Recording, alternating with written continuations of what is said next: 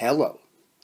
In a previous video, we derived an expression for the number of moles remaining in an aqueous solution after it had been extracted into an organic solution one time. Among other things, in this video, we are going to quickly derive an expression for the number of moles remaining in an aqueous solution after extraction into an organic solution multiple times. Recall that N total is the number of moles of our solute of interest that we originally began with in the aqueous phase.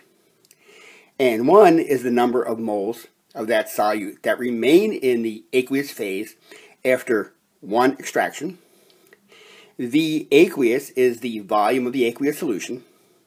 The org is the volume of the organic solution that we extracted into, and K is the partition coefficient for the solute between the aqueous phase and the between the organic phase and the aqueous phase.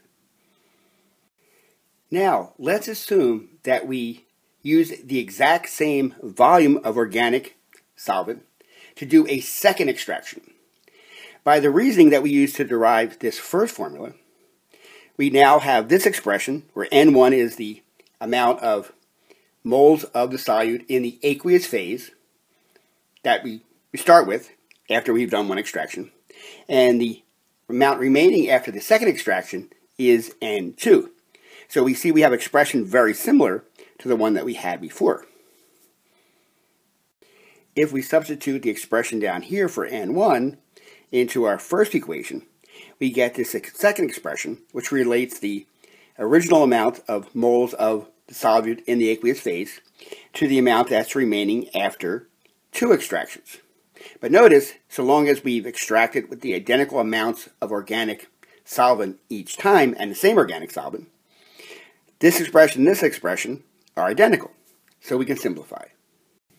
So condensed, we have that the amount remaining after two extractions, n sub 2, is equal to this expression squared times the original numbers of moles. And we can continue to extract, and so long as we do it with the same volume of the same organic compound, that essentially repeat this step again, so we can write this expression more generally as follows. So we have after the jth extraction, the number of moles of the solute remaining in the aqueous phase is n sub j, and we can evaluate it by this particular expression, where j is the number of extractions uh, done identically with the same value of organic material, uh, which gives us the identical partition coefficient k.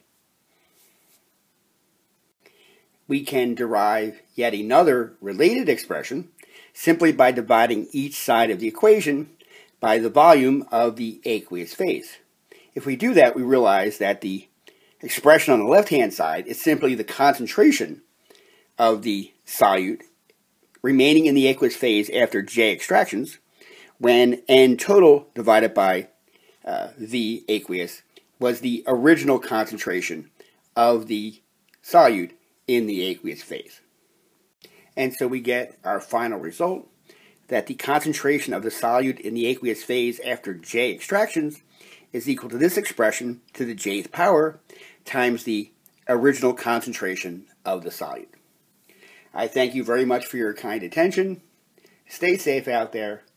And as always, have a good one.